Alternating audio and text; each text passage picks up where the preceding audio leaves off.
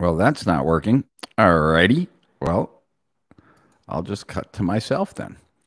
Um, so welcome. I don't know uh, whether or not you could hear that or not. Let me know if you could hear Wes while he was talking. I assume you couldn't, which is why I stopped it. And um, God, we've just had challenges after challenges, right? Uh, the last couple of minutes. I don't know if you guys are aware of this, but the Facebook feed is down currently at the moment, or it was, which is why we sent. Oh no, I see a lot of people are watching on Facebook, which is kind of weird. So maybe it's not down everywhere, but uh, hmm, interesting. No sound from Wes. That might be a problem um, because uh, one of the things I wanted to do today was play a video for you, which will be problematic if um, if you can't hear videos. So let me just see whether or not. Let me first play the beginning of uh, the CSIB video and let me know if you can hear the beginning of this video. All right. And um, so, yeah, let me tell me if you uh, hear this.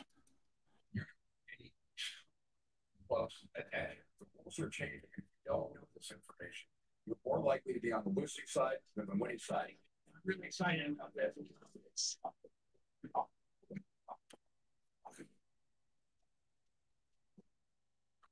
So could you hear that?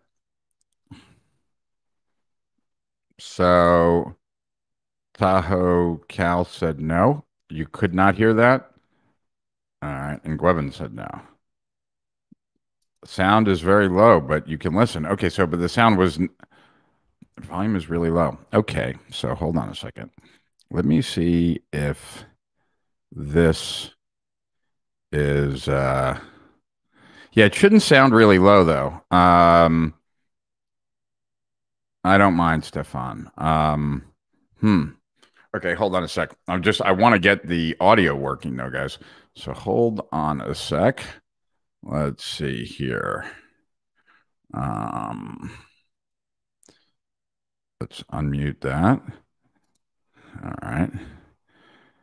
Tell me, and let me just take a look at what this is for a second. Uh, hmm. All right. Oh, cam and mic. Let's see. Okay. Audio. Audio is okay. So let's see if I change this to this. All right. So that that should be better. And then um, I'll make this also um, just this. All right.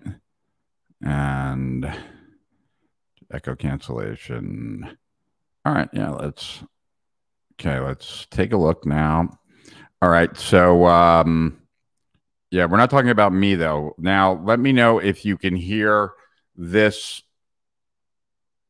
at a normal volume. A normal volume. I'm going to play the beginning of the intro again. Okay.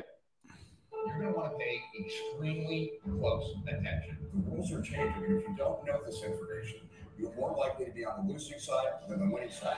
I'm really excited about this.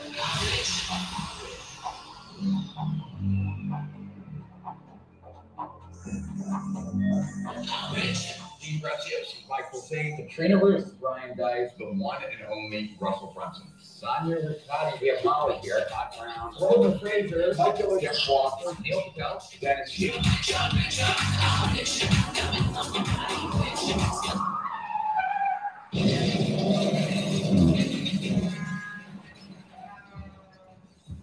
Yeah, so then that must you must still be hearing it through my mic, I guess, which is really strange.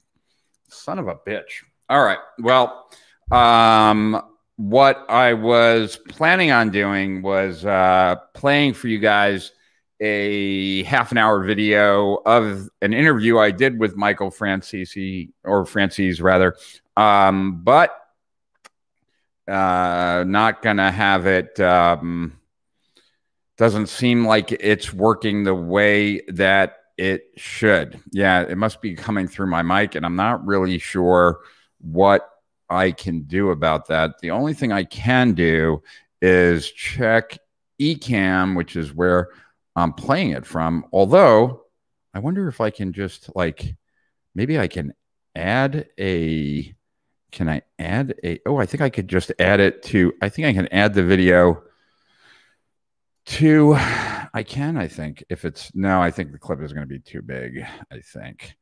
Um can I add a video? Yeah it's too big. Hmm. Right yeah. That's not going to work.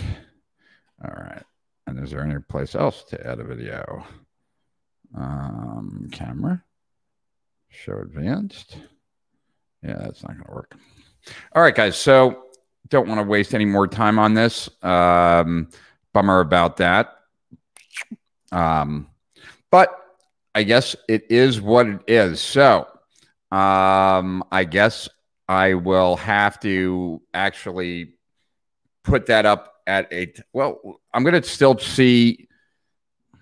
How would I do this? The only other thing I could look at is if Ecamm does an out. Let's see. Output audio monitor. Um, huh. Okay, so that's where it's sending it. Maybe if I sent it to the, yeah. Okay. Yeah. I bet you there's a way I could be doing this, and I just am not smart enough. Uh, oh well. Anyway, so all right, guys. Apologize about the challenges. For those who don't know, my name is Rich Schefren. I do these live streams every Tuesday and Thursday. Normally, uh, or at least recently, we haven't had any challenges. And so I got rather ambitious. I just actually got back from uh, Los Angeles. And while I was there, I got the opportunity to sit down with Michael Franzese, and uh, he was really a, a, gentleman, a really nice guy, and um, was able to snag a 20 to 30 minute interview with him. For those who don't know who he is, he is the um, he's the biggest money maker in organized crime history. He's the only person who was able to leave the mob without ratting on a lot of people um, or anyone. He is was profiled in uh, Fortune magazine did a article back in the 80s of the top 50 mob bosses. Uh, of those 50, um, all 49 other than Michael, he was in that list, um, all other 49 are either dead or have are serving life in prison. And uh, so that is Michael Franzese.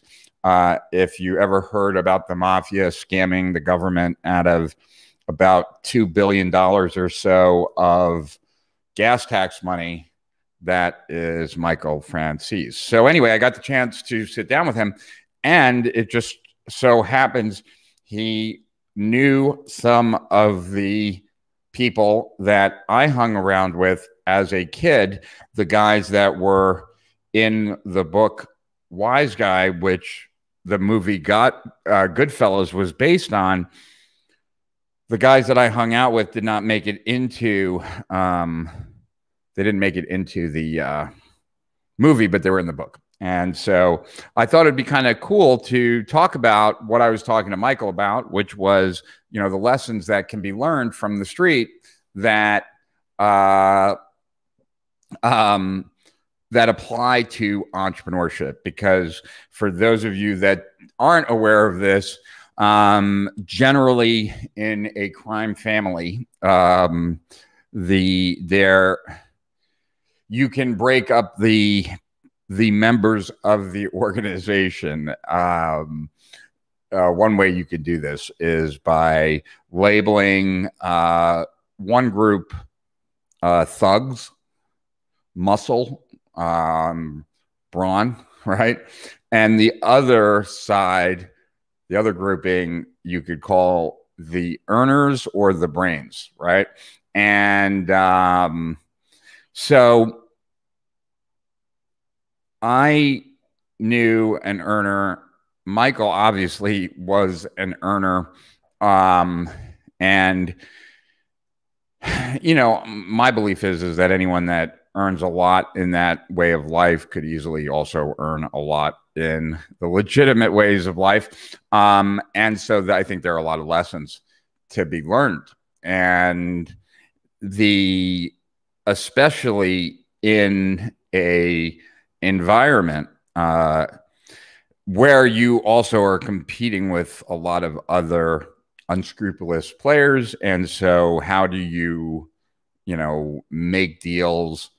And at the end of the day right um my my advice to michael was that i believe that where their back his back end would best be served would actually be in a back end centered around deal making because as a successful mobster at the end of the day um, it's all about making the right deals. And so much in business can be said that success in business is making the right deals because when you think about it um, making the right deals with the right people determine whether you have the right team right? Um, and ultimately everything that you do in a in a business revolves around deals and negotiations and things of that ilk. So anyway so that's why i thought that we would talk about it for one the uh, another reason being that I've I've shared this in the past that I learned a lot at the side of my dad. My dad was a um, extremely tough business guy. Um, also somewhat of a sociopath, and so I got to learn a lot by his side. Um, certainly, some of the things being what I never would want to do, but others actually learning um, quite a bit. And then lastly, the guys that I hung around with, I learned quite a bit from. So uh, over the years, I've been fortunate enough to have learned many lessons from many wiser people than me. And so I thought it'd be fun to discuss that. And you can certainly hit me up with as many questions, Stefan, as you want. And uh, so let me say hello to all of you. If you're watching this right now, uh, please give me a shout out. Let me know where you are. Um, and it's always nice to know who I'm talking to. And then in general, as I do these live streams, I really try to foster these as being as much of a dialogue as opposed to a monologue. I love any questions or comments that you have. Um, if you have any questions, I am happy to take them and answer them. And uh, I actually wanted to sit down tonight. Hey, Mars, what's up? Uh, and uh, I thought, oh, I hope I'm tall enough when I put up the uh, the uh, the titles and uh, remove the super already. What's the super? Oh, I don't know. Um, all right, so uh, let's just remove remove the super already. Not sure what that means, but okay. Uh, no, I'm not. I'm streaming through StreamYard and through uh, Ecamm since I still have Ecamm, right? So that's the idea there. Um, you could edit OBS directly, right click and transform, fit the screen. I wish wish I could do that with StreamYard. Um, and maybe I could. Uh, I just don't know how. uh, should have asked Michael Francis, Michael France, sees uh, on how to make an irresistible offer. Yeah, I think he, uh, many of us are not in the same position where we could make offers like that, but that is funny. Um, let me stand up taller this way. Uh, it was, I see, I don't think, been watching his YouTube and joined his website. Very cool. Um, there are muscles and money makers, exactly. And uh, hey, Rich, what's up with the tattoo on your neck on the front in one of the video editions? Uh, are you thinking of getting one? No, I mean, I, I put different tattoos on at different times, but they're all fake. Um, I'm Jewish, and my mom would cry if I got one, and I don't want to see her cry. Uh, greetings, Carlos in Venezuela, and Stefan. What is he doing right now? Um, yeah, well, he's speaking and uh, selling books, and uh, he's working with uh, some guys I really respect, Julian and Kurt, and uh, they are helping build out his back end. Uh, it's the same guys that work with Wes Watson. And um, I was there, one, to do the video with him, but two, to give any advice I could on what would be the ideal back end for them. I was hoping it would just be pure business, but then I could do something with them. But uh, when they gave me a perspective of the different groups that were watching Michael's videos, um, I thought it was too disparate, you know, uh, to as far as business wouldn't apply to a good percentage of the people that watch him, whereas deal making would apply to everyone. So um, that was why that was my advice. Uh, yeah, you can offer a deal they can't refuse. What up, Mars? Um, greetings, Lewis in Mexico. Always good to see you. And Roberto from Spain. What up? And Milos in Serbia in the house with Stefan. uh, and Jason in Tampa, as usual, my friend. And Ned in DC. And Jane in DC. Thank you for sharing. Yes, if you share it, put hashtag shared so that I can thank you personally.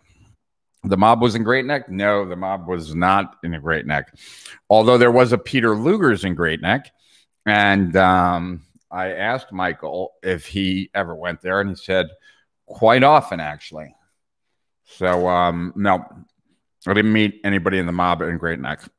Not at all. Um, haha, Mark Francis. uh, hey, Rich, thanks for everything. I enjoy to learn from you. Well, thank you, Jay Roca. And so, what's a sleeve? Hmm? So, that's what a sleeve is. Oh, a sleeve is an arm tattoo, right? Chilling with you from Weslaco, Texas. Cool, Hector. Nice to meet you.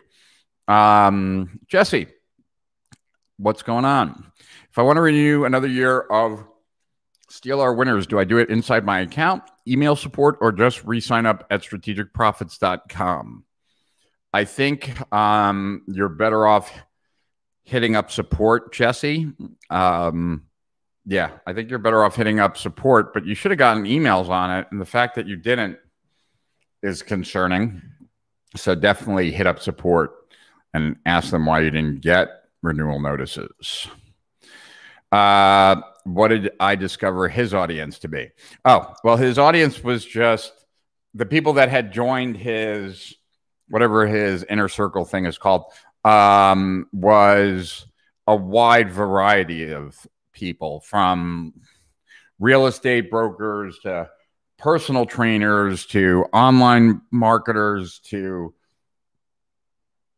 wealthy people that just uh, want to be well they don't always have to be wealthy. People who wanted to be entertained etc so it was much more uh, diverse.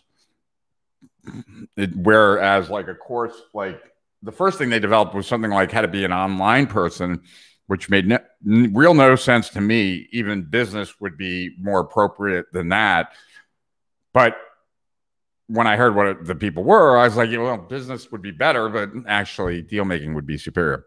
Don in Ireland. Nice to meet you, Don. Like the picture and the hat. Uh, Eric in the Bronx. What up, Eric? And Romeo, good to see you, my friend. Although we don't know where you are, Romeo. Uh, I need a technical guy in those lives. Technical stuff is irritating, right? Tell me about it. Tell me about it. Mars is working on that for me. rock. All right. Uh, shared. You rock, Jesse. And uh, yes, I got that. Oh, did I just oh pronounced like rock? So is it just J Rock? But all good. Checking in from Southwest England. Cool. Yeah, no emails. That is strange. Uh, Tiana from Reno, Nevada. Cool. All right. And Romeo's in the UK. Wow. All right. So, um, yeah, throw some questions at me. One of the things, though, that I've certainly noticed, and this was something that I wrote about in the Hidden Obstacles report, that um, that one thing for sure that I noticed in all of the successful clients that I've had um, is a a confidence of their ultimate success, not necessarily like a false confidence on any particular project, but and a long term kind of I know that I will be ultimately I will be successful. And and I I identify with that because it's something that I've always had as well. Um, and I notice that it is um, noticeably absent um, from quite from many others. Let's put it that way. And I don't know um, I don't know uh, how much one that confidence causes the success ultimately, but I I am confident, like very confident, that it impacts the way that you or myself or they work and that not only work, but deal with obstacles and setbacks and overcome challenges. And what I mean by that is that when you operate from a place of certainty and not, you know, like I said, not overconfidence, but certainty that there will be that payoff then the doubts that might come in on any given project don't don't tie you up as much or get in the way. In fact, there's a resolve that you get from that certainty to push through challenges that are uh, what others might actually back away from because it's quote unquote not worth it, but but the not worth it is because they can't taste that success that is out there maybe at the end of this project, maybe not, but ultimately will be gotten. Let me know if that makes any sense whatsoever. And if it doesn't, ask me a question about it so that maybe I can make it have it make some sense. I think it made sense. I hope it made sense. Uh, let's page down here. Uh, All right. Cool. Cool, cool, cool. Um, I wasn't so sure until recently, but it's becoming more and more obvious. Um, anti-fragile. Uh, did you, through years, develop a way or a system to teach people the intangible parts of certainty and moving with that knowingness? Great question. I'll go right back to that in a second, Stefan. It's a belief that something is doable. Your email link went to YouTube today. Previously, it went to Facebook. Yeah, well, the reason that we didn't send it to Facebook was that when we were mailing, the um, news feed was down, and I don't know if it's up everywhere now, um, but it has been uh, up, obviously, in some places since some of you guys are here. Um, all right, so no, I haven't. Um, but there's there's also like if you were to if you were to kind of hold that idea, right, that way of like moving with that knowingness, right? There's also this is the best word that I can like put to it, even though I would I could see very easily how people could misconstrue the word, but there's a predatory nature to it as well. That there's, yeah, there's a moving with that knowingness, like a confidence in dealing with the uncertainty that is reality, right? Um, but doing it confidently, knowing that you might have to zig and zag, but you're going to hit your outcome at the end of the day, right? At, and that there isn't an overexertion or phonetic type of activity that it's more like a lion that might sleep 23 hours a day and goes after their prey though with a all out intensity uh, that is ferocious and focused and purposeful. Um, and so there's this like predator, right? Human beings are predators. If you think that we were designed or evolved to be carnivores, uh, then we're predators. And I think that there's that element of being a predator, seizing on the right opportunity for you that has, I don't know, there's, you certainly can see that in uh, wise guys like mafiosos, right? You certainly see that in sociopaths. Um, and you see it in successful entrepreneurs successful entrepreneurs are good at seizing the right opportunities that come across them, right? But only seizing the right ones, which means that they're operating from a very strategic sense.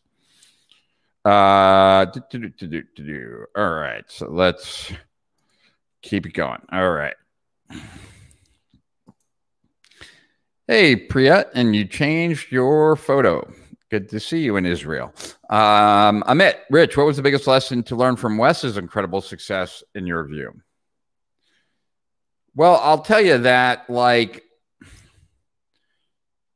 there's certainly, right? Like, you could look at Michael and you could look at Wes, and there certainly is a overall, you could say, fascination with the darker side of life, of prison, of the mafia, etc.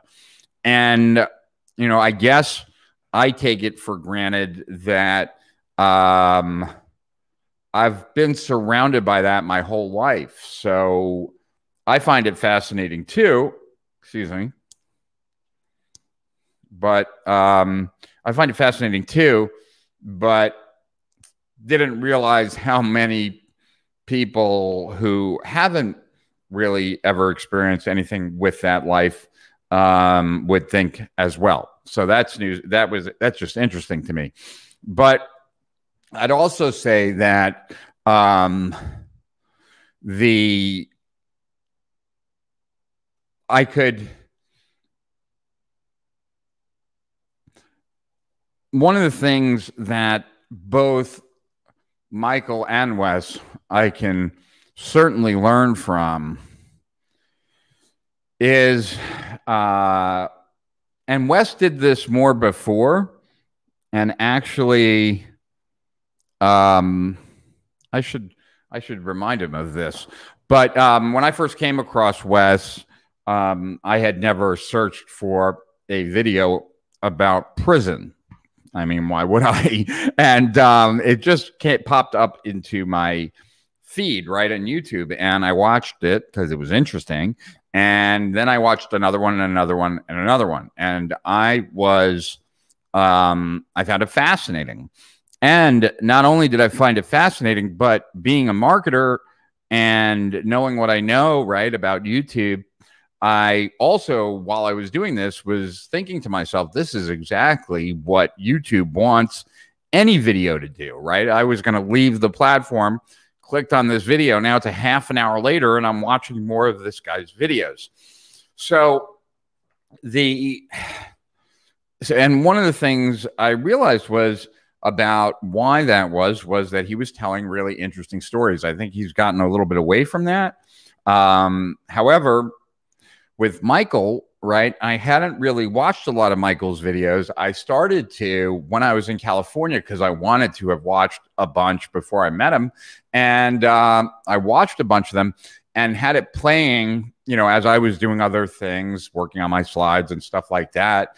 And the what was interesting is is that Kim, who is not, you know, fascinated by the same things that I am, uh, for the most part, uh, she found it really engaging Michael's content, and Michael is telling story after story, and it made me realize, and I think I shared this in the last live stream. If I didn't, I don't know where I shared it, but um, that the that it made me realize that like more more often than not, most of the content that I'm posting to YouTube uh, are not videos like that. They're not videos that you would watch one after another after another. If I'm teaching you something or going over something, it's not necessarily the same. It's not as engaging, and they're not uh, anywhere near as good. So that's one. But then the other thing that anyone can learn from Wes is discipline and not breaking character and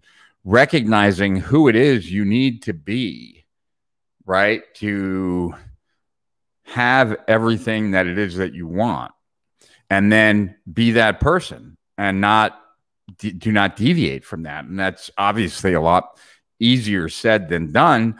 Uh, but that's Wes in a nutshell, right? And that strength of purpose, you know, is a powerful, powerful thing. So that would be the first I'd say, Amit. And uh, may I ask you what sound card you're using? Yeah, I use a. Well, I'm not using. I'm using my lab. Well, I'm using a Mac Mini, um, and there's no sound card in it, but the, I am using an amp, right, by Focusrite, and it takes the signal from the mic, and then there's a USB C out that goes in that is uh, so maybe if there's a sound card in there, but I, at least the way it's advertised as an amp.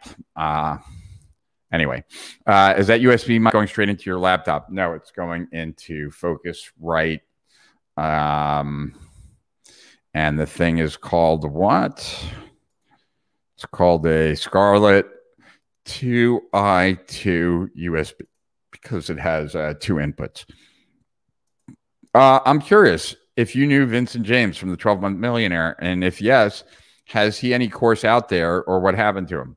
Well, he sold the 12 month millionaire. The 12 month millionaire was a like ebook that also came with a swipe file.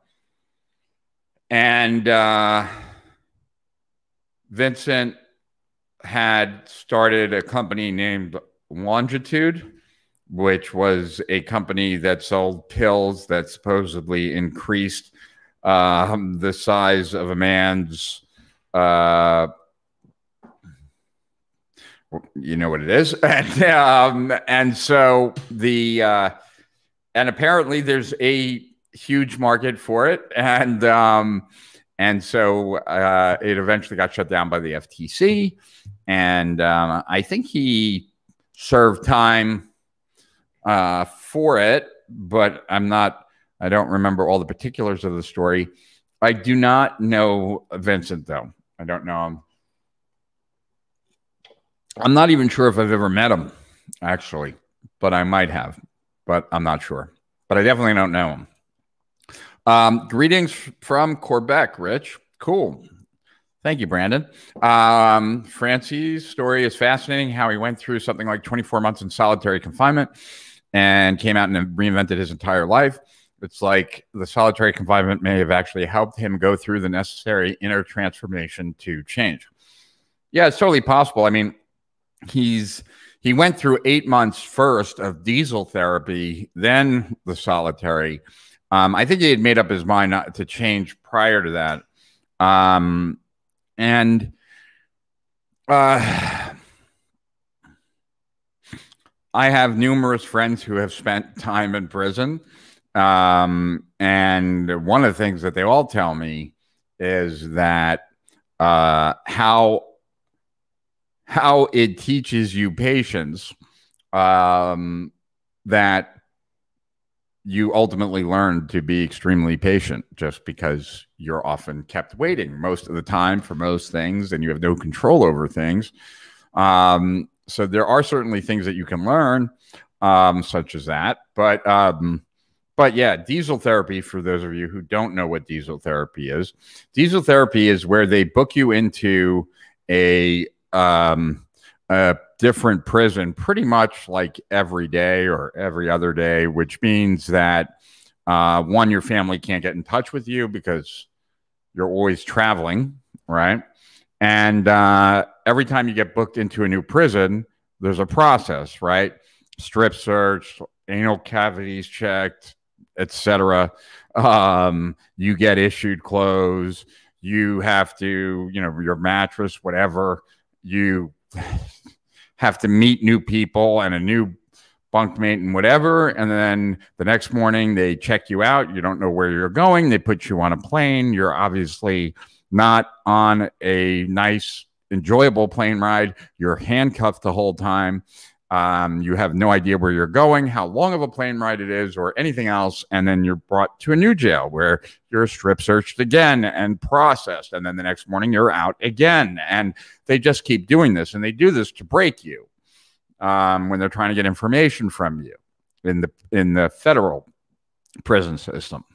And uh, obviously, this can't be done in the state system because there's nowhere to fly to. In the, in the federal, though, they do this. And so they did that to Michael for eight months. Then they put him in solitary for like three years, I think, or two and a half years. Um, all in an effort to get him to break to testify, which he wouldn't do. Um, crazy, right? So, what are some common self sabotaging behaviors of entrepreneurs? Uh, overthinking is probably a big one. Lack of action, uh, right up there with overthinking. Uh, not fully grasping that um, that you always learn more by doing uh, than by any other method, and that not recognizing. Um, not recognizing red flags with people, employees, customers, etc., uh, when they first appear, and uh, trying to think. There are probably many more Romeo, but those are the first ones that occur to me. Priya, it's 2 a.m. and it's my birthday, but I'm here for that sentence. Hopefully, a mob, a mob sentence. I mob a sentence copy of you. Um, well, you shouldn't be here on your birthday. I, there must be better things that you could be doing, Priya, but um, I'm not sure I understand what you want, but I will try to deliver it if you can clarify. It's another paradoxical thing the predatorial approach, but you're also going into deals to create win wins and not really a win lose like in nature with a predatory prey dynamic. Yeah. Well,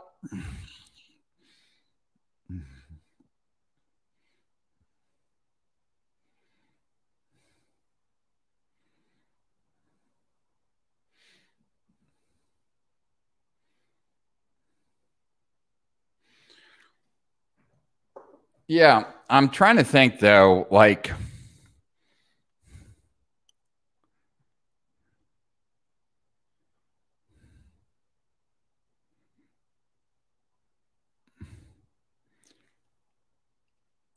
there's a difference though between win-win and equality right? So I spot an opportunity and let's say that we negotiate a deal and it's 90% me, 10% them.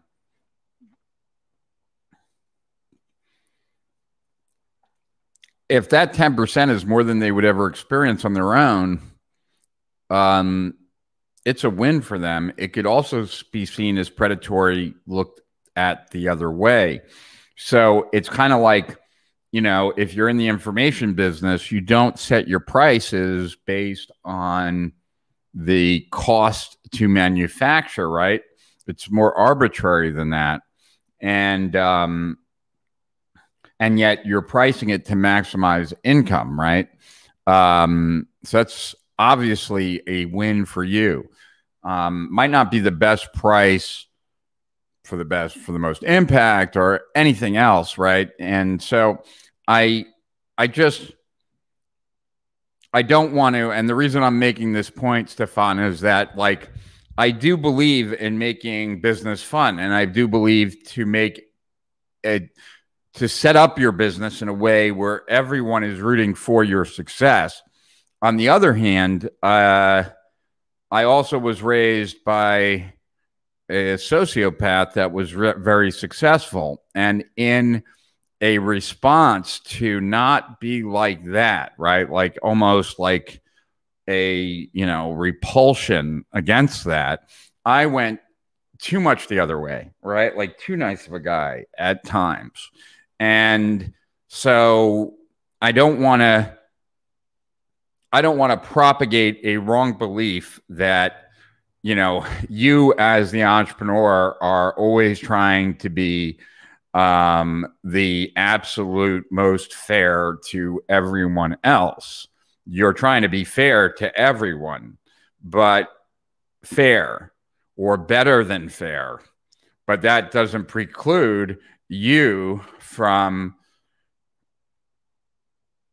benefiting even more than that. And and and I qualify all this by saying that I I'm saying all this so that you know you don't make the mistake of of giving away too much as an entrepreneur, I guess. And I'm not saying that you would, Stefan, but I'm saying that in general, I think entrepreneurs make that mistake, giving up too much equity too early, things like that. Heard that story, Sal. Yeah, I heard that too, Ned. Um, I call it walking by faith and trusting. It's a spiritual thing. That's how I see it. I can't understand how a mafia guy can be like that, though. Well, there's like, haven't you ever seen like, even in movies, right? Like when a good actor is playing someone who is got who's got that background, they generally walk with a swagger, with a sense of confidence. Do you know what I'm talking about or no?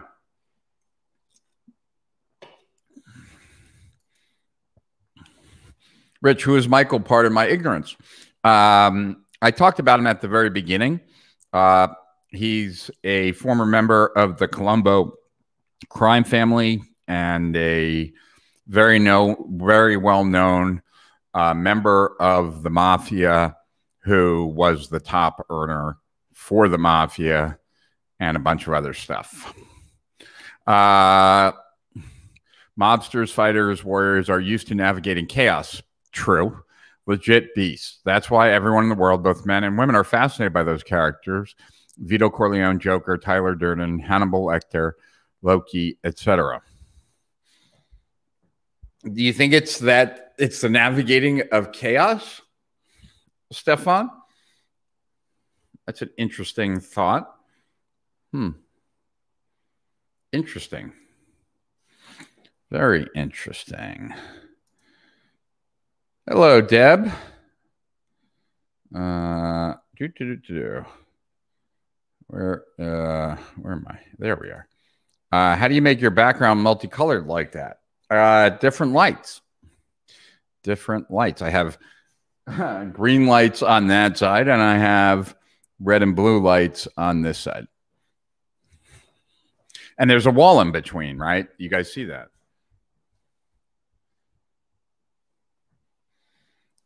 So that's how I do that. Um, watching from Sharjah in United Arab Emirates. Wow. Nice to meet you. Uh, Con- Consolia. How do I pronounce that? Consolius? Consolacion?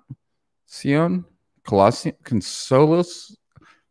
Yeah. Can you write that out phonetically?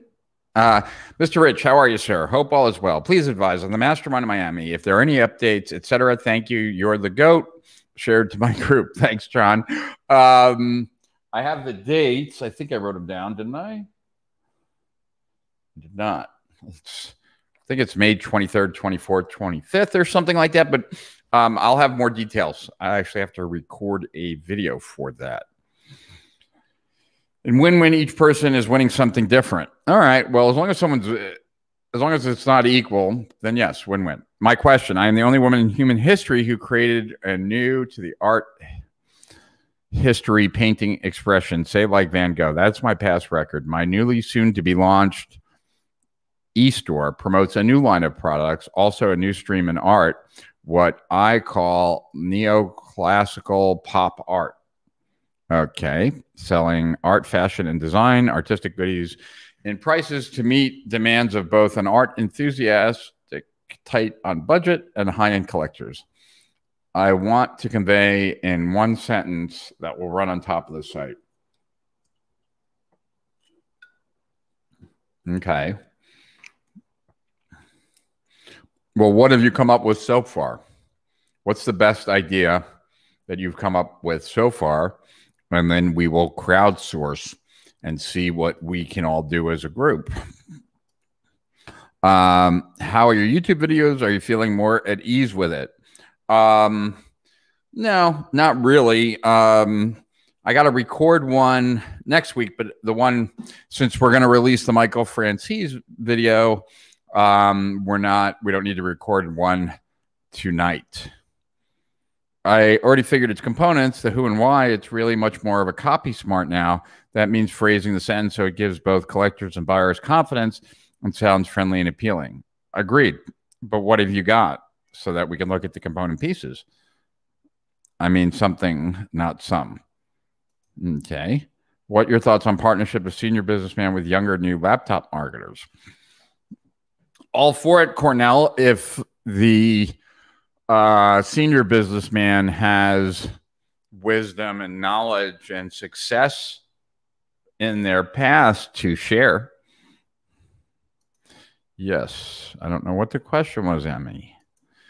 Uh, right. I get that subtly that subtlety you're pointing at between being too nice in business and being just fair enough to not be an asshole, aka playing to win. Yeah, and that's what I'm talking about, right? Like there have certainly been times where I've been negotiating against myself for the benefit of someone else that in hindsight I probably should have it wouldn't had it been the other way around it would have not have been uh, it would not have been the same at all and uh, probably was unnecessary.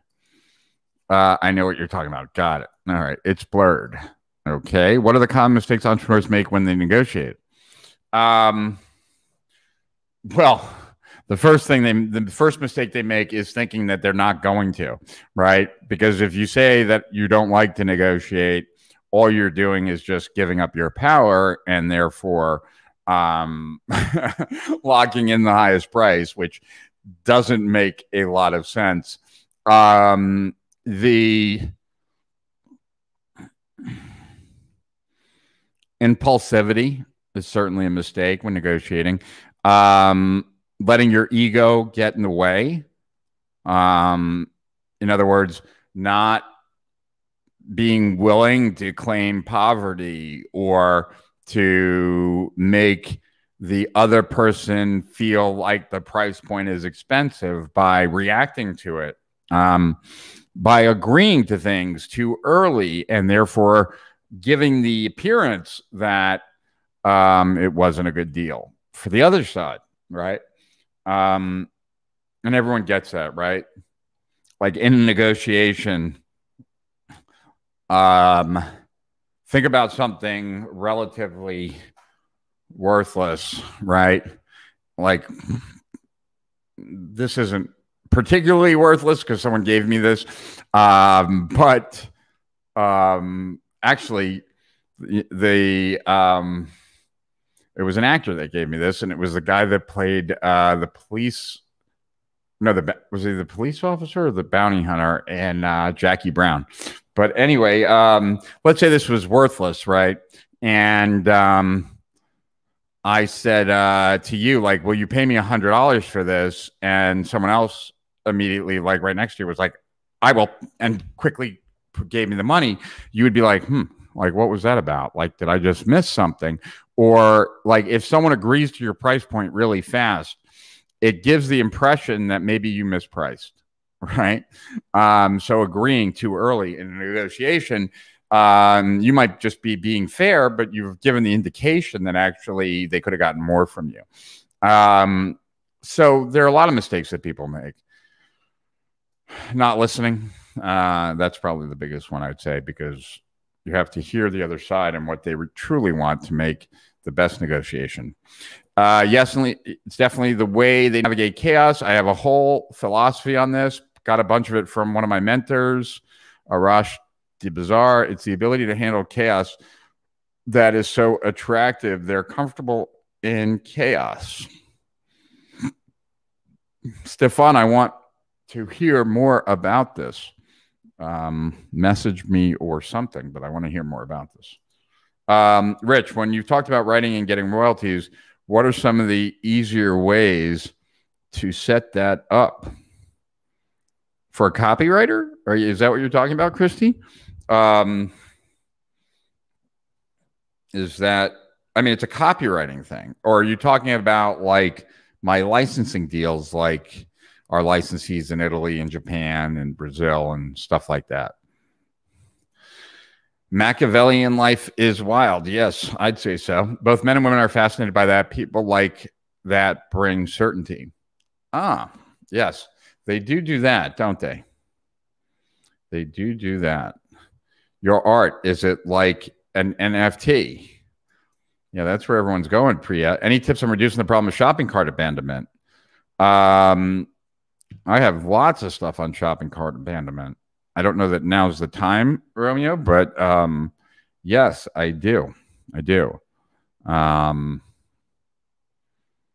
that sounds like a good topic for one of these live streams. Um, created by only women in art history to invent new painting method. Your ROI guaranteed. Can't really crack it, and I'm normally okay.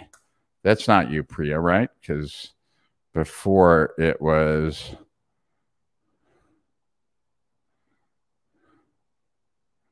right? I don't think that's you. Um, you can't really tell that it's a wall dividing the colors, therefore it appears blurry. Oh, well, I guess that's cool, right? Copywriting.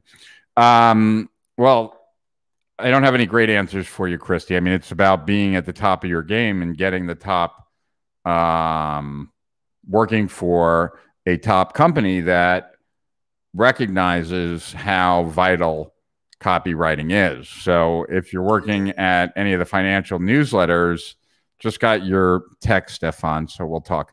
Um, if you know the financial newsletter market, um, it's not only the Agoras of the world that pay royalties, and they'll pay anywhere from a dollar to five dollars per new customer acquired, like on a front end, and anywhere from one percent to five percent of back end sales, which can be millions, right? Um, so, uh, but Agora is certainly not the only one. Pretty much all financial newsletters do. And I would say that in any area of direct response where companies have grown to a sizable size, um, that's where you have the opportunity to get royalties um, because you also will be competing with the world's best copywriters.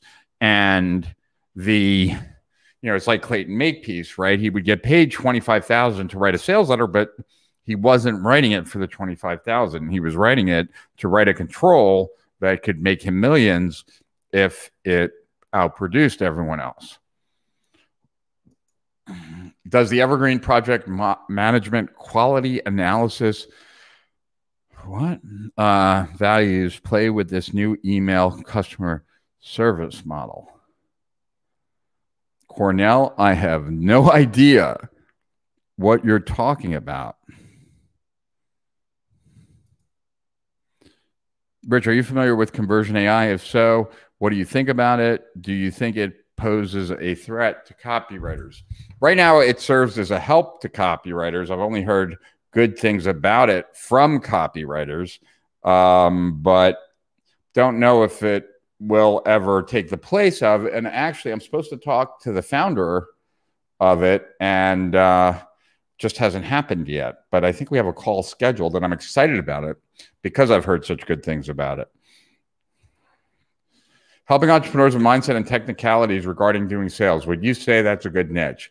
I did that with two entrepreneurs, got them great results, but all those things were common sense to me since I've been doing sales calls and door to door and generally just studying sales and pickup for years. Um, it could be a good niche, but who do you think ultimately, Stefan, would be the like, who's the buyer? What kind of entrepreneur, right? Uh, what are they doing? Tell me that if you can. And um, hmm, I'm really bummed about this uh, not being able to play this Franzese video for you guys. I'm just going to see if you get, yeah, I'm sure you're not, but let's see if, can I, is there a way to, oh, maybe I could share screen? That could work. If I share screen, oh, share video file. Hot diggity dog, guys. I can play the Michael Franzese video. So I think we should play that. What do you guys think? You guys down with that? And then we'll wrap up when it's over.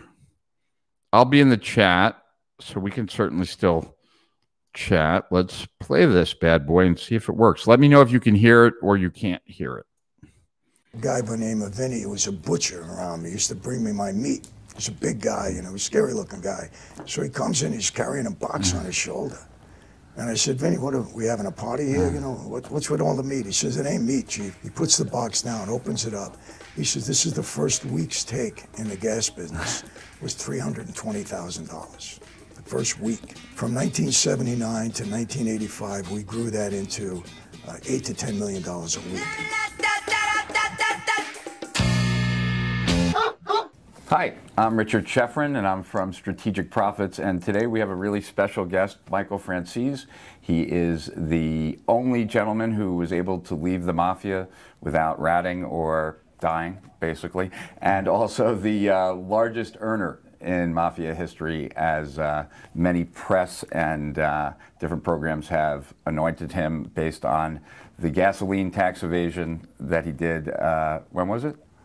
Was back in uh, late 70s, early 80s. Late 70s, early 80s. So we're here just luck would have it talking about different things and i asked michael if he would be willing to just hop on camera for 15 or 20 minutes and kind of talk about the lessons of the mafia and how they could be applied to entrepreneurship and so we've had we were talking a little bit off air about just how people carry themselves mm-hmm. uh, the difference between an earner and a thug like you know in your you know in your past life and so without even maybe asking you a question to start, why don't you take like a couple minutes just to talk about what your experience is like as far as people who came into the mafia and really thrived as an earner versus maybe those who didn't and what you saw as the differences between the types? Yeah and, and like you said there were you know i'll give you an example in the colombo family which i was a part of we had 115 made guys, guys that actually took the oath. We had a lot of associates weren't taking the oath, but they were around. And out of that 115, I think there were 20 of us that were really earners. And the others were, you know, just guys that were doing the work, you know, right. no show job, whatever. They didn't really have the ability to, to, uh, to earn money. And the reason for that is what I noticed the guys that were earning, they had that ability to begin with. They carried themselves that way. They just learned how to use that life to benefit them in business. And I think that's where I, you know, had an advantage too. I knew how to use that life to benefit me in business, and as a result, went on to make a, a significant amount of money. But it's it's in you already. It's just like learning to know your environment or the tools that you have, and be able to put them to work and benefit you in business. And would you say that there was a way of like sizing up a deal that was unique to the mafia, or not really? No, I wouldn't think so. I mean, obviously, you know, we did things with the union that, right. we, you know, because we had a lot of control in the union, so we knew how to use that union. You know, when we had to deal with contractors, and give them sweetheart deals and so on and so forth. But even there, you had to be able to talk to the contractor the right way. You had to be able to use the union in the right way so that it made sense for them and it also benefited us. And you know, you can't just go in and bully your way in because that doesn't always work. You know, my thing, Rich, and what I noticed from a lot of the people that were successful in that life, they tried to make friends rather than enemies of the people that they were dealing with. Uh, and in that life, especially because you know you are who you are, you want to make as many friends as you possibly can, and uh, even in the business world. And was there a way to kind of? You said something when we were talking off air about like when you owned bars or clubs that you had to have like a bouncer, but the purpose right. of a bouncer wasn't really to beat people up. It was to make sure that nobody got beat up, so that you know, like people would be afraid to act out as opposed to want to interact with the bouncer, right? And I would imagine that there's a lot of that as it relates to the mafia. Like, it's more about strength and not having to use it right, than it is about actually because when you use your strength, now you might get in trouble, like you know you're exposed, as opposed to just the threat or the mystery of what's behind you. Exactly. You know, and two examples of that again with the bouncer, we used to get the bouncers that looked the part. They were big, you know, they were strong, and they carried themselves the right way. And I would tell them, I hired you because of what you look like. If you have to go in and start beating people up and causing a ruckus in my club every night, I don't need you. It's your presence that's supposed to count. You know, I'll give you an example. We had, um, I had a, uh, an agent around me that uh, at one time represented all the big black talent, from Marvin Gaye to Dionne Warwick to everybody. And uh, we actually were going to have the Michael Jackson Victory Tour in 1984. And uh, he had, Michael's um, agent didn't want to go along with it. Okay. So he had asked me to go out to California to see him, down to LA. So I went out there, and he knew who I was walking in the door. I didn't have to go out there and threaten him and say, You're going to do this right. or else. You know, it was implied. You knew who I was. And basically, I said to him, Look, there's going to be an advantage of you working with us, it'll be a disadvantage if you don't. You know, so you, you understand what I'm saying. Let's try to work this out the right way. You know, rather than walking in the door and, you know, putting my weight around, he knew who I was. So I didn't have to do that. And, um, you know, for me, it was always a better way to work. And, and the guys that I saw that were business guys in that life, they acted the same way. And was it as simple as like spotting an opportunity, or were there kinds of opportunities that you most like to look for, like in your earning days in the mob? You know, I mean, because of who I was, and I, you know, I was kind of the go-to guy on Long Island at the time. I would always have people coming to me with different deals and to a point where I actually had a, a bar. I called it. Uh, it was Michael's actually. I, I, bought it. It wasn't named after me. I bought it. It just happened to be Michael's.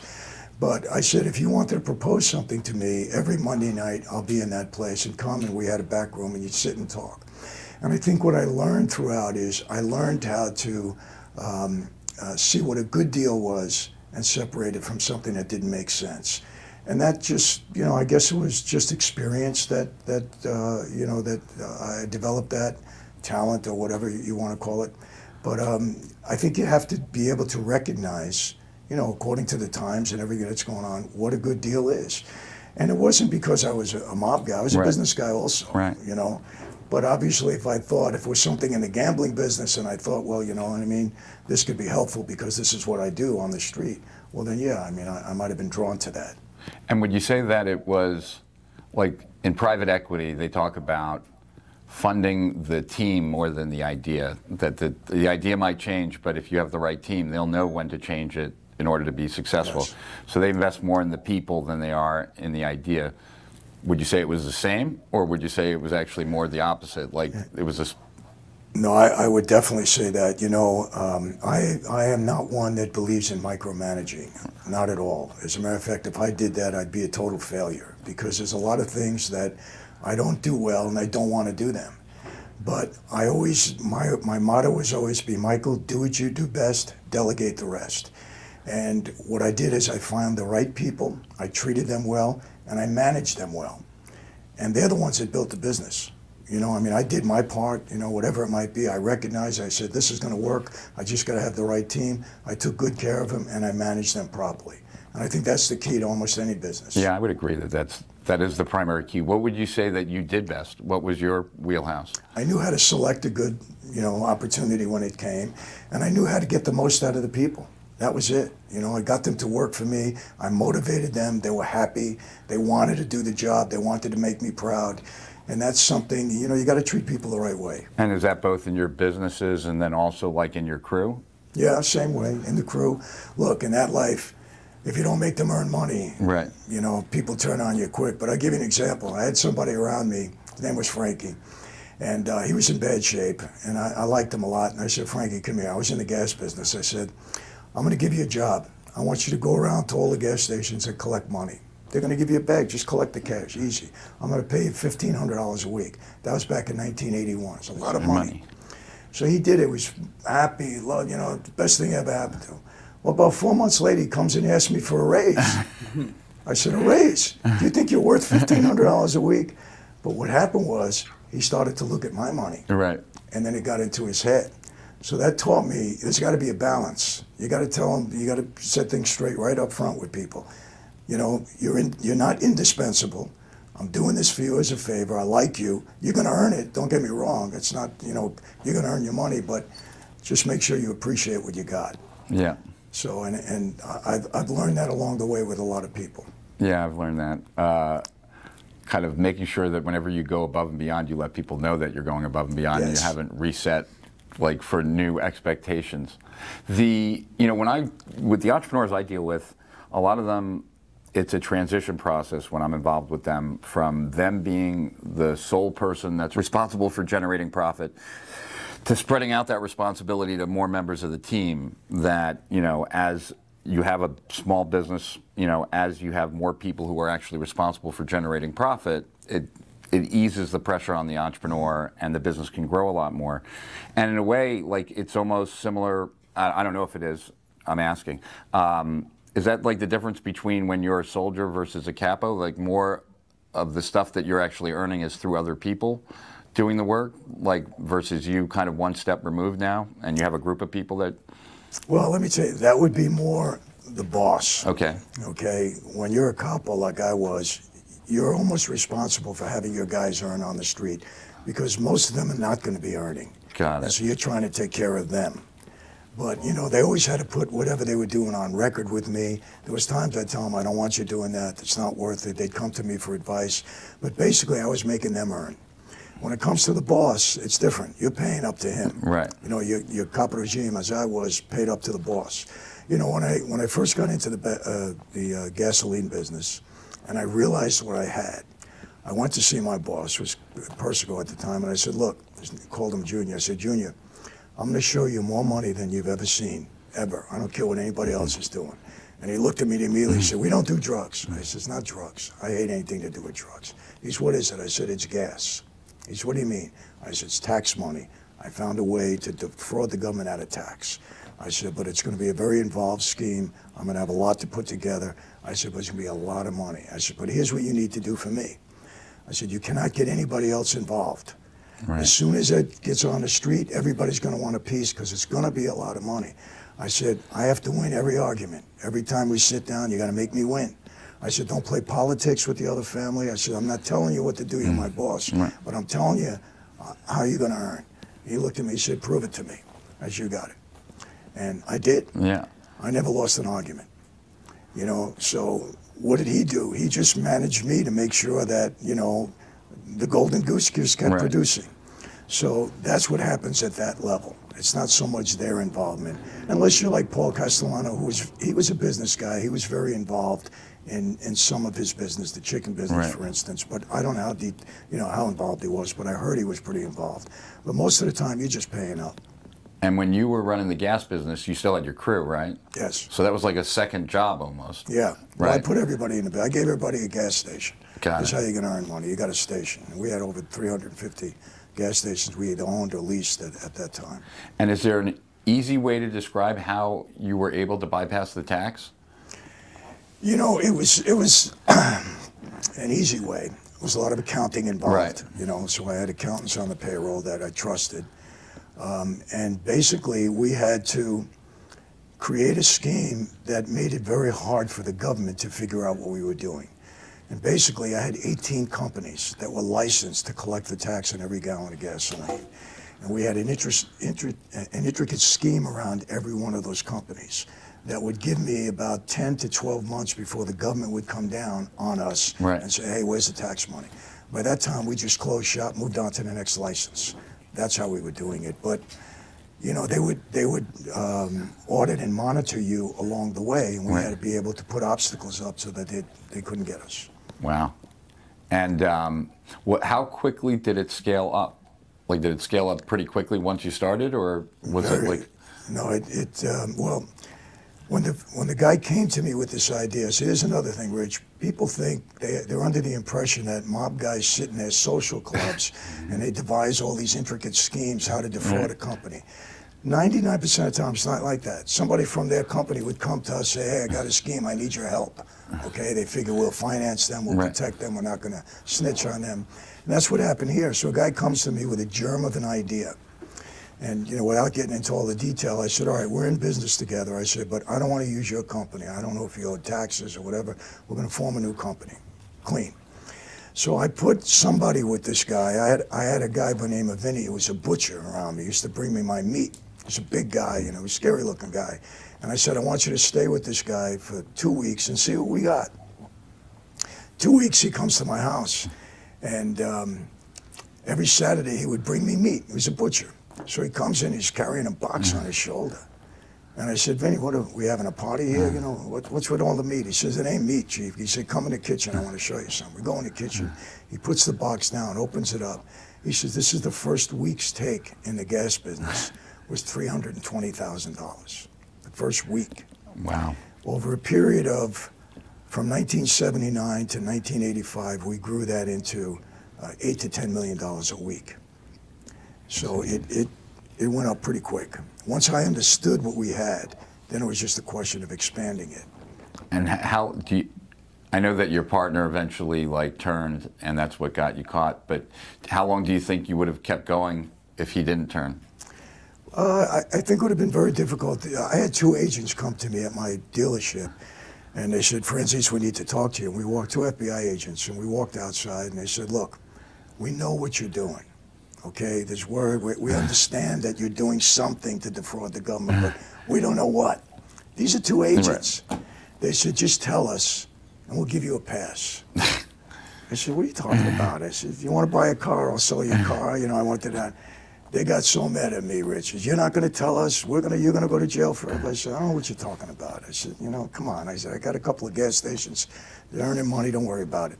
And that was it. They could not figure it out. Wow. I don't. I don't know if if he didn't turn informant, we probably would have had another couple of years because we were always devising new ways. Like at one point in time, I bought a terminal from British Petroleum in uh, in Oceanside, Long Okay. Island, and we were storing so much gasoline in there, and that was another way without getting into the detail. Because people ask me all the Right. time, Michael, just tell us the scheme. You can't do that. Um, reform. Yeah. But um, that was another way to hold the government off. It was just another accounting issue Right. that they couldn't figure out. So we were always one step ahead of them. Interesting. And what was the? So we all know that the gas was like your number one thing. What was the second thing?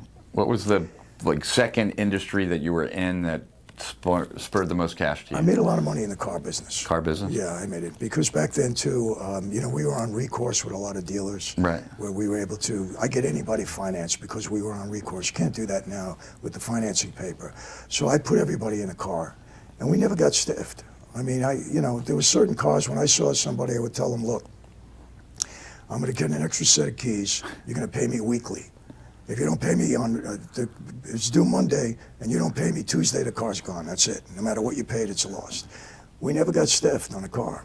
So I was putting everybody, and we were selling more cars. I mean, I won more sales contests than you can imagine. We were just selling cars like crazy. And that was a lucrative business. Service was great, and I loved it. I mean, I loved what we were doing. Then I got into leasing, and we were leasing a lot of cars. So made a lot of money with those two agencies and a leasing company that I had. And, and then I was in the film business. And um, for about, this was early on in the business when we were, we were making movies. And I made probably about, I think, 45 or 50 films. Oh, wow. And at the time, we had an output deal with Vestron Video. Okay. And that output deal and us bicycling 200 to 250 prints around the country at that time, we were able to make a lot of money with B movies. I mean, they were like all horror films. Exploitation films were big in the early 80s. And so we kind of saw that niche at that time, and, and we were making a lot of money. Putting these little films together cost us nothing, and they're just bicycling them around the country, output deal with Vestron. We probably get just about all our money back just from the video end of it. Wow. Yeah. And so would you say that, I mean, obviously the gas thing, you had to be connected and in the mob for that, right? Yes. But the stuff that you did in the car dealership and in the movie business, Legit. The only thing illegit about the movie business, I was financing with gasoline money. yes. you know, yeah. and would you say, like, what would you say are the biggest lessons that you took, you know, because now you you know, you've reformed and now you've got a franchise called Slices and you're doing lots of other things. Like, what were some of the biggest lessons that you took from the mob uh, to your, like, now everyday life as far as business goes? You know, business is business, Rich. No matter what, even if you're doing it illegally, you got to do it right. Or you're going to lose money. You know, in the gas business, if we didn't do it right, we were going to lose. If you're a bookmaker, if you're not laying off some of the big bets, you can get killed on a Right. weekend. You got to know what your level is. So no matter what you're doing, it's still business. You got to do it right. So I mean, I, that's just something I learned, and I applied that same principle to what I'm doing now. You know, just got to do it right. One thing I always tell people, I used to have people come to me and they say, you know, Michael, I want to open up a restaurant. I said, okay. What's your plan? Well, I'm going to make good food. I said, okay, well, that's kind of obvious. What else is your plan? Well, I'm going to get a good location. Okay. But what's your plan? Right. right? So they wouldn't have one. They had no idea. They had no idea whatsoever. So what I used to tell people all the time, what I did for myself is, you got to give yourself a written plan. Write it down, explore it, talk to people, have your consigliere input in it, write it down. And so when you're going in, this is your model. This is it. Now, there's times you're going to deviate. You need flexibility, market changes here and there, but that's your plan, and you stick to it going in, and make sure it's a good one before you go in. So many people I know don't do that, Rich. Really? They don't. They don't. They just go in. Oh, I'm going to open up a restaurant. I have good food. Somebody tells me there's no other restaurant here. I'm going to be the only one. I said, why would you want to do that? I said, you want to open up a restaurant where there's a lot of restaurants, where a lot of people coming down. You got good food. They'll come here. They'll go there. Restaurant row. Yeah. Some people think they don't want the they, Yeah, like they don't it's want the competition. competition. They want to be scared of. It's wrong. And when we were talking offline, also you said something, and it's it's very much in line with the way I think. Um, you know, when I design a business, my goal is to try and figure out a way that everybody wins. Everyone wants that Yes. business to win. That the customers feel like it's a it's a business they want to do business with. The vendors want to do business with this business, so that everyone's rooting for this business to win, as opposed to just the owner. And like we should all root for this business to make a lot of money for the owner. Um, and you said something similar to that when we were talking off air about, um, I'm not sure which business it was that we were talking about, but that you wanted to make sure that they had a win. Do you remember what we were talking about? No, but I, I'll give you another example. We opened up, you know, I have this pizza franchise now. So there's a store across the street uh, from us, and uh, about a week before we opened, I went in there because a couple of weeks before that, the owner of that business threw my partner out, called him a spy, threw him out of the place, and all right. So I went in there. I wanted to see the menu. Right. They didn't know who I was. At least I didn't think so. I walk in the door, and the guy sitting behind the counter looks at me like this. I said, "Oh man, he must know I'm that guy's partner." He looks at me and he looks at his phone, and mm. he says, Michael Franzese, I'm looking at you on YouTube right now. Right? So he saw me a biggest fan and he, mm. he runs out with a pizza box. Uh. And he said, Will you autograph the pizza box? Now I don't have the heart to tell him that that's my place across the street, right? Right. I said, so we're talking, talking, mm. talking. I leave. So um, I went back to him afterwards and I said, look, I don't want to be deceitful. We're in the same community, two blocks Right. away. We serve a different kind of pizza. I said, when anybody wants a round pizza, I'm going to send them to you. I said, you know, we, we all got to make money Right. here. Nobody's trying. Well, my partner wants to put him out of business. I said, we can't do that, you know. This is one community, you know. But, um, you know, look, you're not there to try to put somebody out of business. Right. You're not, you know what I mean? You want people to earn money. And I always found it a better way. That's just, that's just my way. Yeah, I agree. And it's a Sicilian pizza, or at least that's It's- what we call it. Like when we see square It's, it's Sicilian in, in shape only. oh, in shape only. But the uh, the dough is very light and airy versus Sicilian, which is kind of yeah. heavy. You know, it's thick. It's actually Roman style pizza. Ah, Yeah. yeah, we've had that. Yeah, it's The- Roman style. And so, as this, I don't want to take too much of your time, so I wanted to ask one last question just about any advice that, anything that I didn't ask you that maybe I should have asked you that relates to being an entrepreneur. I, I explained to you, like, the entrepreneurs that I'm speaking to mostly have gotten past, like, the startup stage. They're generally somewhere between a half a million and 20 million, somewhere in there. Um, and I just, I imagine that a lot of things it sounds like you had a really strong father. I had a really strong father. I learned a lot in his shadow. As he did his business deals i kind of just watched and learned as a child. And i noticed that a lot of my clients don't have that experience. They don't have that knowledge. And so their parents were working nine to five and so they don't they haven't really grasped this idea that you know it's your business you make the rules that you can really kind of determine what the right spot for you like by leveraging your strengths making your weaknesses kind of irrelevant in whatever situation you kind of design for yourself. And i just would imagine that you've seen so many people do so many things over the years. Um, some work out some don't um, just any words of wisdom to someone who is trying to make their way online in this in today's world? Well, you know, my dad did teach me a lot, but he taught me less in business because I don't think he was a great business guy. Right. My my dad, my dad's theory was always other people's money. He never wanted to invest in anything. That was my real clash with him because I said, Dad, you got to put up money to make money at times, you know. But he was old school in that thinking, so we used to we used to clash in that way. But but it, he always gave in. But um, you know, he taught me how to navigate that life very well. And as a result, I was able to take what he taught me in that life and apply it to the real world life experiences. You know, one, of- one of the things I think is so important is just learning how to deal with people. You know, people ask me all the time about my negotiating skills because in that life, you're always negotiating. If you're an active guy, like I was, you're always in a sit down, you're always negotiating, whether it be business or maybe somebody's life situation. I mean, it's always a negotiation. You got to know how to read people. You got to have a plan B. You're not always going to win. You got to know what you're going to settle for. And I, again, I always found it always to try to come out of a negotiation, you know, with people saying, okay, it was fair for both of us. And there's sometimes when I had to make people think they won right because of their ego, but I knew I got what I wanted in the end. So I think in business, you know, and I tell people, your whole life is a negotiation. You know, look, I'm married. I negotiate with my wife, my kids. I mean, my next door neighbor. You're negotiating all the time. How do you read people, and how in turn um, does that benefit you in your business that you're in? And I think it's so important to be uh, an expert in reading people. You don't have to be a psychiatrist. You don't have to be a you know a therapist. You got to how to read the people that you're dealing with.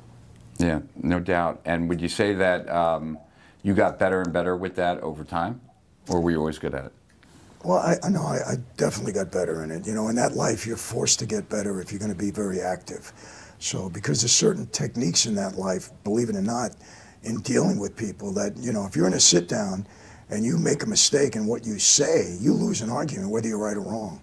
So you really had to be, you had to weigh your words very carefully. You had to know how to outmaneuver somebody. You couldn't let, I was a younger guy, you couldn't let the old timers put you in a trap, you know. And I found that very, very helpful in negotiating other deals, even with Phil. Look, I had a, I had a deal um, with Ned Tanen who was the head of Paramount at one time. I don't know if you know that name. And he and I were sitting down. And I said, you know, I'm fooling with these small films and I'm making money. I said, I want to get into the big time with you. He said, how much you got? And I said, how much you want? You know, he looked at me and he said, for real? I said, yeah, for real. I said, but on my terms. Right. But how much do you want? He said, well, I need 10 million. I said, you got it. I said, write the deal down. So he writes it on a napkin, right. you know, like the whole Hollywood thing, you know. And then I went to jail after that. But uh, thank God I probably would have lost all the money. Probably would have been a dumb deal at the end of it. But, you know, I knew what Ned wanted at that time. And I think, I think had I had the opportunity, I probably would have been a part of that studio. Wow. You know, yeah, I really mean that, but it didn't work out because I had, I had legal troubles at the time. But um, read people, just learn how to deal with them. I, um, I've been watching a lot of your videos, and in watching your videos, I was reminded of my dad in two different places. Not specifically, but just the stories that you told reminded me of stuff. One was right before he passed away, he sat down with me and he said, uh, when I sit down with someone, I'm trying to figure out how to get all the money that's in their pocket into my pocket. You don't seem like that tight. And I'm like, no, Dad, I'm not mm. that tight. But uh, I heard you say that about somebody. Well, no, yeah. that's what your dad said to you. Yeah, but my okay. dad said that about himself, that he yes. is that. And right. He didn't see that killer instinct in me. Well, let me tell you the difference in the mob. Yeah. Mob guys believe that all the money in your pocket really belongs to us, and we just have to figure out how to get it out of here. Yeah. So, so he know, didn't think it belonged to him, but he wanted it to belong well, no, to him. Mob guys think it really belongs to us. and then this, at least they did. This one, like uh, Kim knows this because uh, she's heard this story before, but my dad used to, uh, I used to do a lot of things wrong as a kid. And uh, we have that in common. Yeah, and my dad would, uh, when my dad found out something, he wouldn't tell me. He'd bring me into his home office and he'd say, uh, okay, here's the deal. Like, I heard something. And uh, if I have to tell you what I heard, the punishment is this. If you tell me what, the, what you did, the punishment's like one quarter of that. But I was doing so many things wrong all the time that I could never. you know what to tell yeah, him. I didn't know what to tell him, so I always had to look at him and be like, "I have no idea, Dad, what you're talking about." Because you want to tell him something yeah. That would have been a second strike. Yeah, but uh, it seemed like something that uh, my dad wasn't in the mafia or anything, but sounds like a mafia kind of question to ask yeah. their kid. Um, well, this has been great. I appreciate you taking the time. Big fan of your work, and I know that you're just gonna like, based on what I've seen in the last seven months on YouTube, uh, I imagine you're gonna be all over the place real shortly. You'll be on Rogan, you'll be all over. So uh, we're trying. Yeah, it's, it's best of new, luck. Uh, it's a new territory for me, but well, you'll so master this like all the other ones, I'm sure. So thank you. Best of luck. Thank you.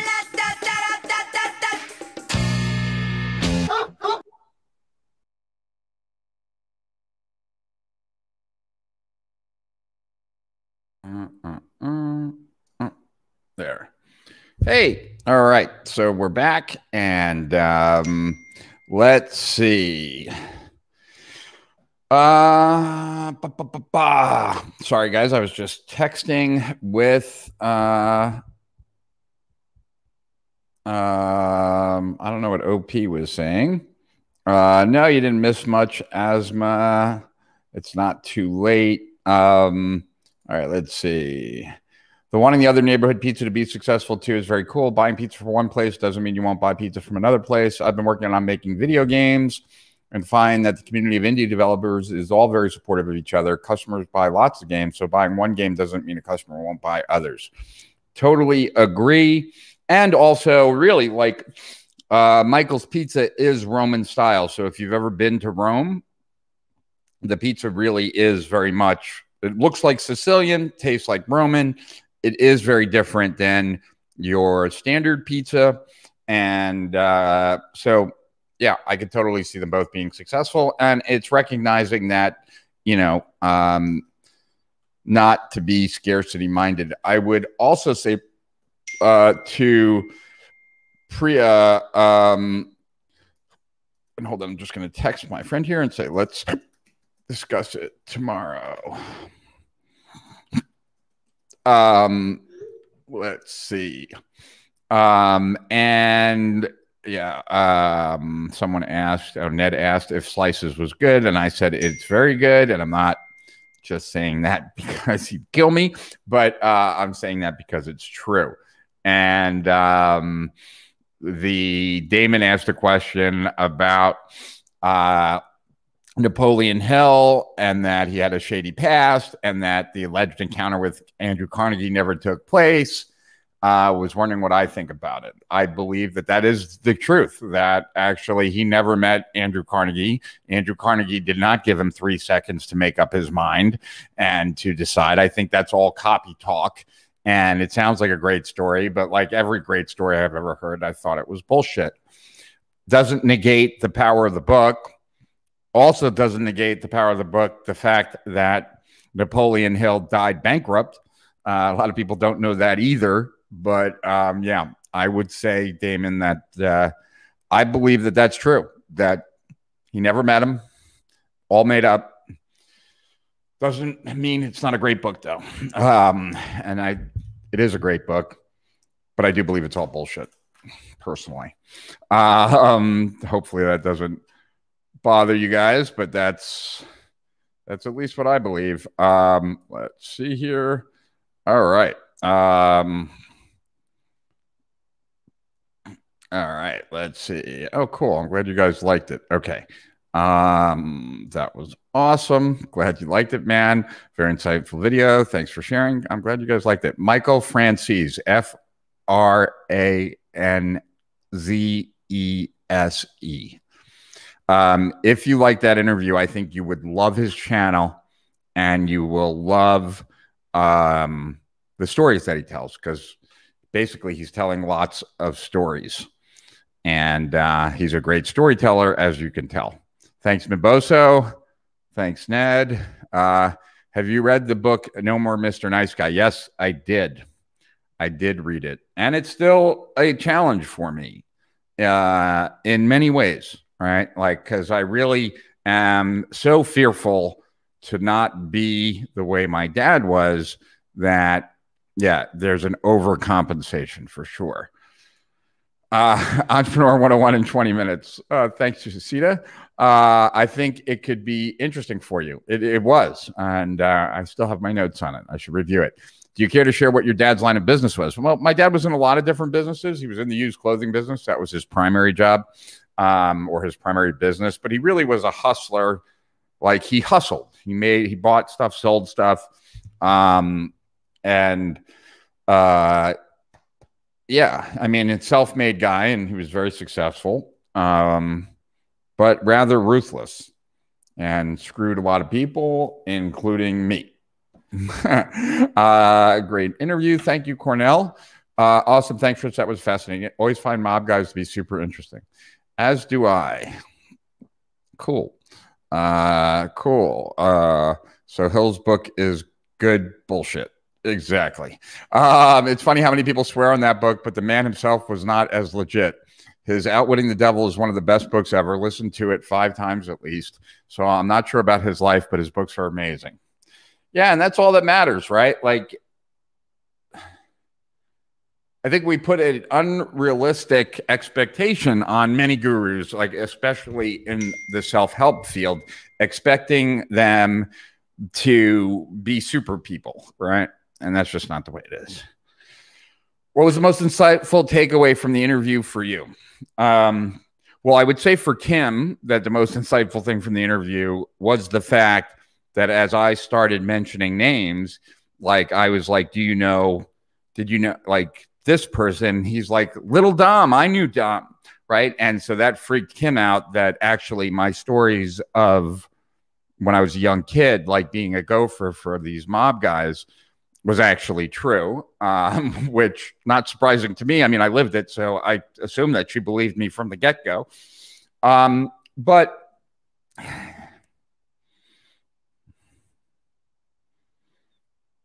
I would say that there's just an overall level of comfort in his own skin that was very clear to me. It was very obvious.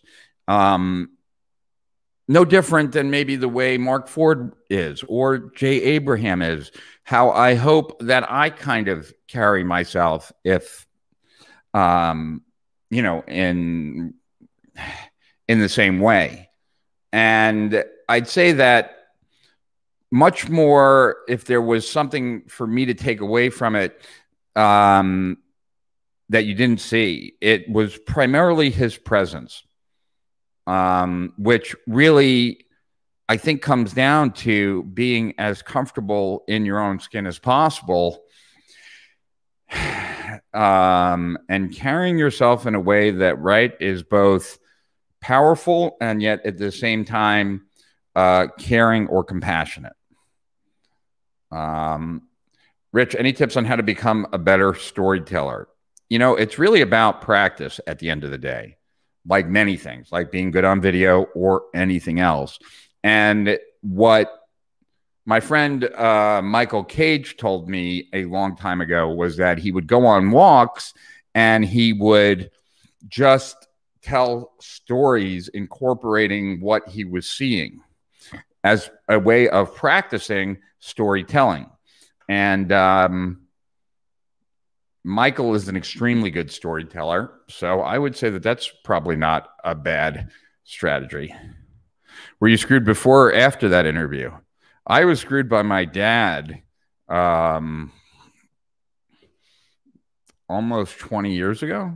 Yeah, about 20 years ago. So, yeah, way before the interview. Uh, uh, my pleasure. Uh, question about regarding buying a $100 million catalog from retiring internet marketer. Rick, I saw that, and I hope you're not getting like taken advantage of. Um, so, okay, this person had this person had a hundred million dollar business or they did a hundred million dollars in their total lifetime online and then if they did a hundred million dollars in their total lifetime online what how many different offers did they have and uh uh let's see um yeah, so I have a lot of questions about that, Rick. Um, sounds like it could be problematic, just to give you a heads up. Rich, what's the greatest advice Jay Abraham ever gave me? Um, well, I think I've shared this that the, the best thing I learned from Jay, he didn't teach me, it was more me witnessing him in action. And what I mean by that is, is that when I first sat down with him in a consult, and I had read already a lot of his stuff at that time, and um, uh, the uh, what I felt like I had learned lots of different strategies for marketing. What I learned when I watched him in action was is that these were all filters of reality to solve any kind of problem, not just marketing problems. And I've gone into detail on that, so I don't want to go overboard there. Um, many different Johan Mock. Yeah, I don't know. Uh,